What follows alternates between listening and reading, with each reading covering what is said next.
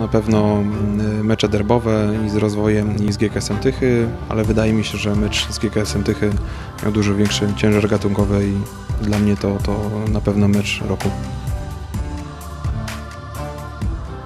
Jeśli chodzi o bramkę roku, to na pewno moim faworytem y, Wojtek Trochim w meczu z Wigrami Suwałki.